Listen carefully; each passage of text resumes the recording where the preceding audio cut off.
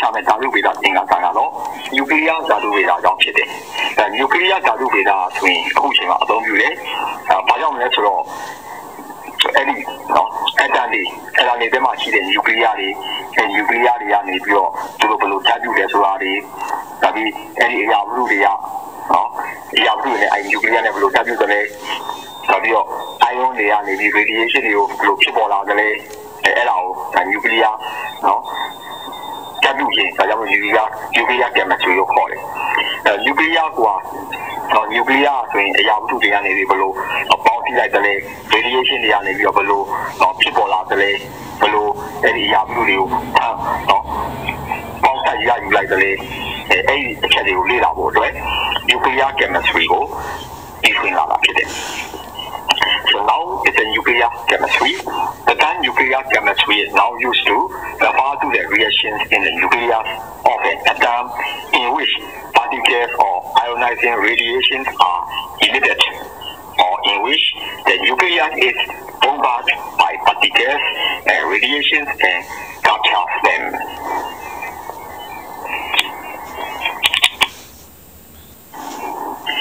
တချို့သောကနျူကလ িয়ার နဲ့ပတ်သက်တဲ့ညာကြီးတွေတော့ပထမအဆုံးက နျူကလ িয়ার ဆိုရင်မတည်ငြိမ်ဘူးမတည်ငြိမ်ဘူးဖြစ်နေတယ်အဲ့ဒီခါမှာဆိုရင်နျူနျူကလ িয়ার မတည်ငြိမ်တဲ့နျူကလ িয়ার ဒီအရာဝတ္ထုတွေကိုထုတ်အမုံတွေကိုထုတ်လုပ်လိုက်တယ်နောက်ပြီးတော့လေနော် energy ကိုထုတ်ယူလိုက်တယ်အဲ့လိုထုတ်ယူပြီးတော့မှ energy ကိုဆုံးထုတ်လိုက်တယ်ထုတ်ပြီးတော့မှတည်ငြိမ်အောင်ပြုလုပ်တာဖြစ်တယ်။ဒါကြောင့်အဲ့ဒီ nuclear ကြတော့ဗာလဲဆိုရင်ဒါ radioactive ဖြစ်တယ်လို့ခေါ်တယ်။အဲ့ဒါကြတော့နော်အဲ့ဒီနော်ဒီလို radioactive ဖြစ်အောင်ဒီနော်ဟို particle တွေထုတ်လုပ်တဲ့ဟောစွမ်းအင်တွေကိုထုတ်လုပ်လိုက်တယ်။အဲ့အဲ့ဒါအဲ့ဒီနည်းဗာလဲဆိုရင် radioactive ဒီရေးဖြစ်တယ်လို့ခေါ်တယ်။ So the sun nuclear reaction equations conditions under which the nuclei is unstable and unstable nucleus will release particles and or energy to become more stable. This nucleus is radio, radioactive and the stabilizing process is called radioactive decay. အဲ့တော့ဒီ nuclear ဘာကြောင့်မလို့မတည်ငြိမ်ဖြစ်တာလဲဆိုတော့ neutron တွေ neutron တွေဆိုရင်နော်အဲ့ proton တွေအတွက် nuclear တွေသိပြီးတော့များတယ်များတဲ့အခါမှာ nuclear မတည်ငြိမ်ဘူးဖြစ်တယ်အဲအဲ့ဒီအခါမှာဆိုရင်နော်ဒီ neutron ကအော် nuclear မှာရှိတဲ့ neutron ကြီး proton နဲ့ electron ကိုပြောင်းသွားတယ်ဒါကြောင့်မို့ဒီမှာဆိုရင်အဲ1 and 0อ่ะဆိုရင် 11b နဲ့0 minus 1e ကိုပြောင်းသွားတာဖြစ်တယ်ဥပမာပြည့်ဒီလိုတော့ K ရ radioactive ကျွမ်းနေတဲ့ K ရဆိုရင်ဒါ21482အဲ့လားဆိုရင်ဒီ K ရဆိုတာပြန်ပြီးတည်ရင်သွားတယ်ဒီ A ဖြစ်တဲ့အခါမှာဆိုရင်ဒီမှာ barium bi နဲ့ electron နဲ့ကိုပြောင်းသွားတာဖြစ်တယ်ဒါကြောင့်မလို့တော့ PBr ဆိုရင်တော့ bi ကိုပြောင်းသွားတယ်ဘာကြောင့်လဲဆိုတော့ atomic number ပြောင်းလဲသွားတာဖြစ်တယ်အဲ့တော့ thermo beta လို့ပါလဲဆိုရင်အဲ့ဒီညီလာကြီးမှာအသုံးပြုတယ်ဘာကြောင့်လဲဆိုတော့နော် နော်0 minus 1 e ရစား Simon beta ကိုနော်ဟို beta ကိုအသုံးပြုတာဖြစ်တယ် simple beta ကိုအသုံးပြုတာဖြစ်တယ် The reason for the instability of nucleus too many neutrons for the number of protons present in this case neutron is in the nucleus change to a proton and electron so in this case and uh, 1 0 is changed to the p11 and the e0 minus 1 for example pb is a 21482 the leg is a dj so that it can be done at pi is a 214 and the 83 plus a e0 minus 1 the element has changed from the pb to pi because the atomic number has changed. The symbol beta can be used in equations instead 1ညာကြီးမှာဆိုရင်ဒါ RE ညာကြီးကိုပြောင်းရမယ် TLPA အဲ့ဒါလို DA ဖြစ်တဲ့အခါမှာဆိုရင်အဲ့ဒီညာကြီးကိုဆက်ပြီးရှင်းမှာဖြစ်တယ်။အဲနောက်တစ်ခါ neutron အတွက်သိပြီးတော့ proton တွေများလုံးတယ်။ဒါ proton တွေကလည်းပါလေ neutron ကိုပြောင်းသွားတာဖြစ်တယ်။အဲ့တော့ positron positron ဆိုရင်တို့အပေါင်းနော် positive charge အပေါင်းလက္ခဏာဆီတော့ဆီတစ်တာဆောင်တဲ့ electron အဲအဲ့ဒီ electron တွေကိုဖြစ်ပေါ်သွားတာဖြစ်တယ်ဒါကြောင့်မလို့ proton ဆိုရင် neutron နဲ့ positron ကိုပြောင်းလဲသွားတာဖြစ်တယ်တော့ proton သိနေရတယ်ကြားတဲ့အဲ့ဒီ proton ဒီ neutron နဲ့ positron ပြောင်းသွားတယ် So in this case, I probably the following the nuclear equation. These are too many protons for the number of neutrons. In this case, the proton change into one a neutron and two a positron, a positively charged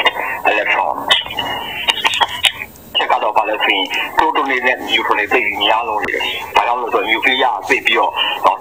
လေးလာပြီးတော့ proton တွေ nuclear neutron တွေသိပြီးများလုံးနေတယ်။အဲ့ဒီကမှာဆိုရင် nuclear ကသူ့ရဲ့ track ကိုရော့ရမယ်။အဲရော့တဲ့အခါမှာဆို alpha particle တွေ alpha အမုံတွေကိုဆွတ်ထုတ်ရမယ်။အဲ့ဒီ alpha အမုံတွေမှာပါလဲဆို proton တစ်ခုနဲ့ neutron တစ်ခုပါတယ်။အဲ့ဒါတွေကိုဆွတ်ထုတ်ပြီးတော့မှ nuclear ကသူ့ရဲ့ track ကိုရော့အောင်ပြုလုပ်ရမှာဖြစ်တယ်။အဲ့ ဒီကမှာဆိုရင်တော့အဲ့ဒီ alpha proton နဲ့ neutron တွေကဆိုရင်ကအပေါင်းလက္ခဏာတော့တစ်ချက်ဖြစ်တာကိုစောင်းနေအဲသူတို့တော့ဘာလို့ခေါ်လဲဆိုရင် helium nuclear ဆိုခေါ်တယ်ဆိုတော့ HE42 လို့ခေါ်တယ်အဲအဲ့ဒါတော့ဘာလဲဆိုရင်ဒီဟိုတင်ကြီးသားဘာကိုပြတာလဲဆိုရင်ဒီအဲ့ဒီညီညာကြီးမှာရှိတဲ့ alpha အမုံလေးကိုပြလာတာဖြစ်တယ်အဲဒါဥပမာနဲ့ RN2225 ကဆိုရင်ဒီဒီဖြစ်သွားတဲ့အခါမှာ CO2884 နဲ့ HE42 ကို two one. So too many protons and neutrons,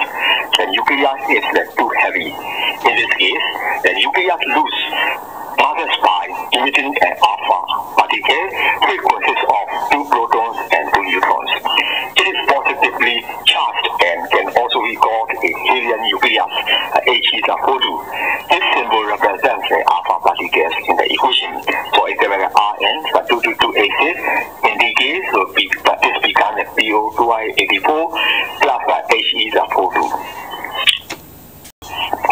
အောက်မှာပေါ်ပြတဲ့ nuclear ညီညာချင်းတွေကိုရှင်းရမှာဖြစ်တယ်။အဲ့တော့နော်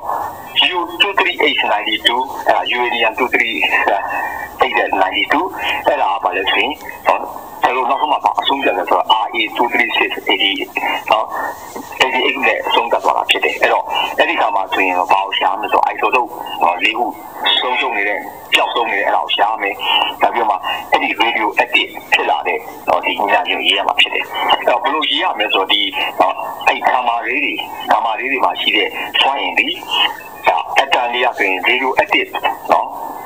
စွမ်းရည်ရော့ကြသွားတယ်ဒီလိုအတည်ဒီဖြစ်တဲ့အချိန်မှာဆိုရင်ကာမာရေးတွေကိုဆွတ်ထုတ်တာဖြစ်တယ်အဲအဲ့ဒီကာမာဆိုရင်အဲ့ nuclear equation တွေမှာတော့ကာမာရေးတွေရဲ့ဟို W ရဲ့ဟော